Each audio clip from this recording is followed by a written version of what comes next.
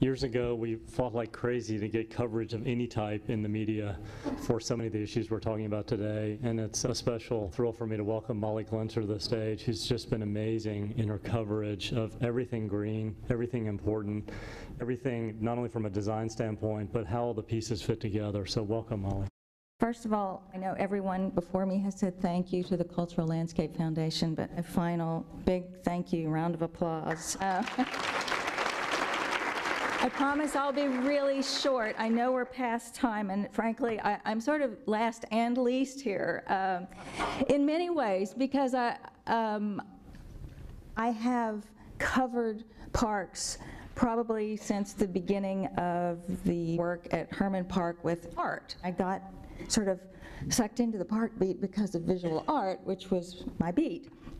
But um, I actually have a history with that park of, I grew up in Houston, actually I grew up in Dickinson, which is halfway to Galveston, and uh, which is a city of pine trees, a town of pine trees, but I can't even count the number of Sundays as a kid that my dad drove us into Houston and we went to concerts at Miller Outdoor Theater. I mean, to me it seems like every Sunday of my childhood, but I know it I know there's their schedule isn't that that quite that frequent.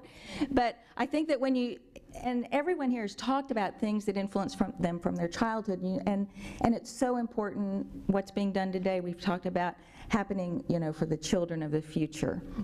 So first of all, I want to again reiterate, I'm not a doer. I think what, what has awed me most about being in this room today is that this is an entire theater full of doers. Every one of you here has done something, more than, even those of you I don't know, has done something to promote the future of Houston or whatever other cities that you live in, you know, by just by dint of thinking about the landscape in this beautiful, large way. Um, I have been, as I said, I've been a resident of Houston most of my life. I was born in Dallas, so I can't say I was born here. Uh, but for the last four years, I, my primary residence has been in Brenham, which is an hour and 15 minutes exactly. I know this because I drive those freeways. For many, many years, I lived in Montrose and I drove downtown to work. And I always thought of Houston as the Emerald City because I would see the skyscrapers. And that, you know, the, I can never think of the names of all the buildings, but the, um, the, the vision, if, if you're driving into downtown from the west, is this gorgeous Emerald City. And I'm so happy to see that now we're talking about it as the Emerald City because of the greenscape that was all around it that I used to just drive by and think, oh, there's the kudzu growing over everything. and and the other thing about living out that what what has really come to my attention uh, living outside the loop um, on the weekends now is that as everyone here at the table has mentioned and some mention has, has been made before me, this city is 672 square miles. There's a whole lot of it out there that is a park desert. And I know in talking to Joe in the last few days and looking at some of the cities, some of the maps of where the city can use parks, it's astounding when you, if you look at, I, I think the, the maps are available on uh, the Trust for Public Lands website. If you go onto that, you'll see like how, you know, Houston ranked really, really low. I think we were 58th out of 75 cities. It was because of our access limitations.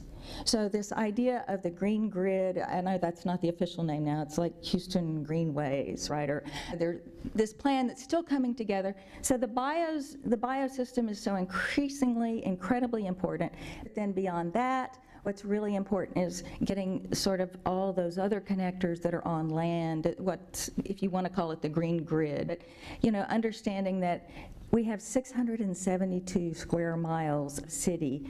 So all these fabulous brains in the room, people who think about systems and look at the whole picture, I hope that what comes out of this as well is that you think about, truly think about the whole picture for the future. And in closing, I just want to say, because I'm a journalist and I just take notes incessantly. I took a lot of notes today. But the one thing that struck me was contrasts. So these are words that I heard starting this morning until just now, and it's all about contrast. Houstonization, humanization, bifurcated, balanced. Oil, water, maintain, sustain, simple, complex, private, public, nature, science, flood, drought. That's all a lot to think about, but the last two, now and next. Thank you.